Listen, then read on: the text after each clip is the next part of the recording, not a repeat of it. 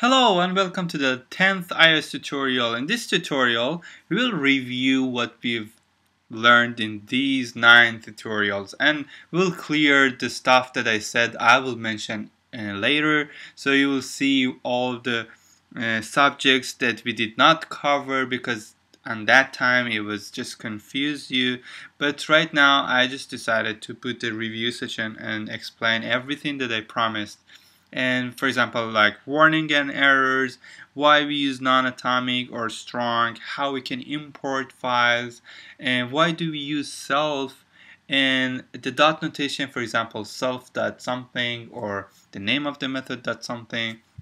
And also the important thing is model view controller uh, which is the design pattern of JTC so we have a lot to learn. Let's go on you may have noticed before while we were programming and writing code, sometimes we had some warnings. So let's create some of these warnings. For example, I want to define an integer and name it my int and put it equal to 0. So as soon as I finish, the compiler give me a warning by showing this little triangle. If I click on it, it will highlight that line and it will show the description and why we have a warning. It says unused variable my int. It means that we have not used this integer or variable. So, uh, once we use it, this warning will go away. So this is a cool description. Sometimes we will have more description and it will not fit on one line here. If you just hover it, you can see the full description of that warning. Same thing for the errors. For example, if I type something here, as soon as I finish, it will show me a little stop sign. Call it stop sign. It's an error. And again, if I just click on it, it will highlight it. And it says use of undeclared identifier. It means that it doesn't know what is actually we don't know even what is this. So if I just delete this and I want to run the program, it will run the program. Because it's just a warning but it's not a good practice to run the program with warning. Your program should not have any warning at the end. So it, you better fix the, all of the warnings and then run your programs. But if you have some errors the compiler would not allow you to build the program. It says build failed. So you have to fix this issue and then go for example, if I have uh, multiple errors and warnings, uh, as I mentioned in third tutorials, you can see, go to this tab, see, this is a navigation, and you can come to this tab and see all of the errors and warnings here.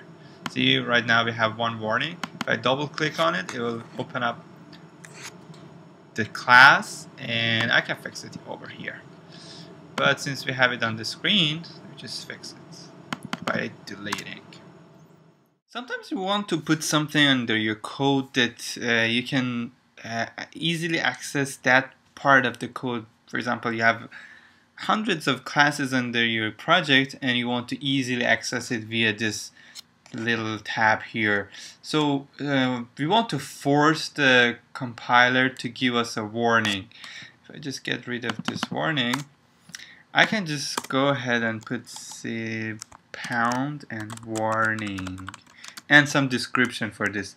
Don't forget this line. And it forces the compiler to give us a warning. And I can easily access it from this tab over here.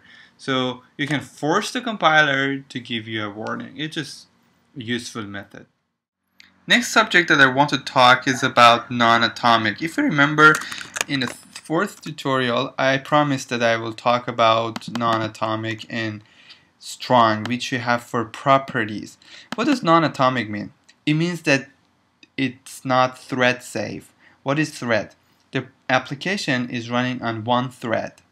If we want to have another thread it would be the second thread so it's not thread safe if we use at sign property.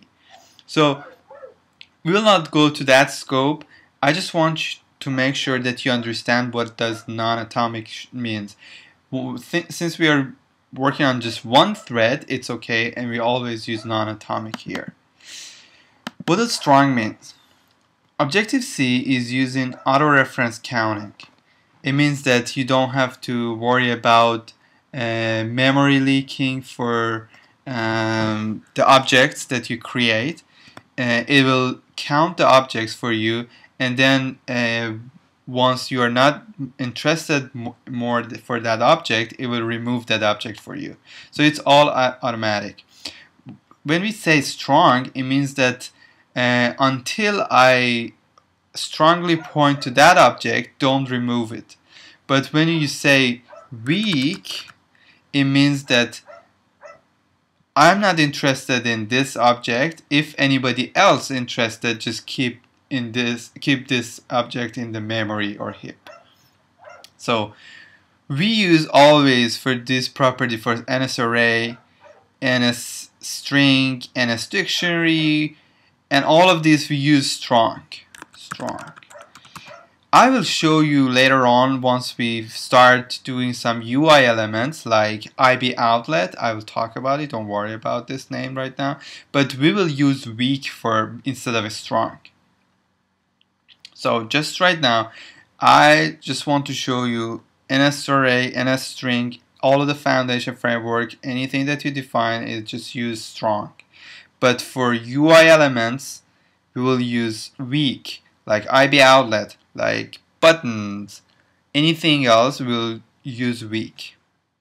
Our next subject is about import. Uh, if you want to import any class or any framework, you should use pound import. So for example, if I want to import this app delegate uh, to my class, first of all, uh, for all of the class that you want to import to other class, you just import .h file. So I have to just import .h file and automatically it will import .m file. The header file will import the implementation file. So we just say import and then the name of the class. For here, it's app delegate, and it just gives us, and that's it. I just imported this class. If I want to add a framework to this class, we can see the sample in .h file, and it see it just it's a framework which is UI kit, and you can see uh, the frameworks here. If I zoom in, you'll see UI kit framework and the way that we import we just import all of the framework it's fully optimized you may think that you want to add the things that we are using in our class but um, always we import the full framework and uh, don't worry about the optimization because it's all optimized and it's built for this and that's all for import if you watch previous tutorials, you may have noticed that we use self. And when we do you when we use self, when we're not using self, so let's define a property here. It's just a property, non-atomic, strong, and it's just an NS array type, and we want to call it. We said that we uh, put self at the beginning, and then the name of the property, which is my array. And this is all for properties. So if you define a property and you want to call it in your class, you have to use self. But if you define a local variable, for example, we just say ns string and we call it um, equals to, for example, one. Hello? And you want to call it later in the code? I have to put yes I forgot to put the at sign. Okay if you want to use this string later on in your code you just have to put the str and you don't need to mm, want to add another one so another value for this and this time world and then close it and that's it. So we don't need to use self. When do we use self? All for properties. and if you're familiar with Java, self is more like this in Java. The other use of self is for the time that you want to call a method. Let me read of these variables and these methods. And for example, if you have a method called and it's not returning anything, so it's void, and it is my method. And inside of this method is nothing. We just want to define some method. If I want to call this method, we just have to put the open bracket and then self and the name of the method. Close bracket close bracket. So this is how we call a method inside of the class. We just put self and then the name of the method. So this is the second use of self in Objective-C also we don't need to use self for uh, instance variables. I said we don't need to use for local variable, it's true for uh, instance variable. If we have an instance variable here, like ns string, and we call it my string here, and then anywhere in our class, if we want to use it, we just put my string. No self at the beginning. So self is just for calling the method or uh, using the properties. Next subject is about important fact in Objective-C which is dot notation and square bracket notation. Let's see what's going on in dot notation. For example, when we put self dot something or a method dot something. So let's define a string and call it my string as a local variable and have a value, of, although it's a string, but I just put number 3 inside of the string. And as soon as I put my string and dot it will give me all of the available methods inside of the string. So dot is just uh, having access to all of the available methods um, of that uh, variable or that method. So here I just want to use int value I want the int value of this string and I want to assign it to an integer. So I put int and my number my number one I call it my number one is equal to this. So what it basically does is just get this string and return an integer value of this string and assign it to my number one. So dot we did this by dot notation. So we want to do the same thing with square bracket notation. We will come here and say int my number 2 is equal open square bracket my string and int value. See? I didn't use dot notation. I just used square bracket but these two are exactly the same. It means that number 1 is exactly equal number 2 and both of them are equal to 3. So dot notation and square bracket do exactly the same thing. But sometimes um, we use dot notation and sometimes we use square bracket for the beauty of code.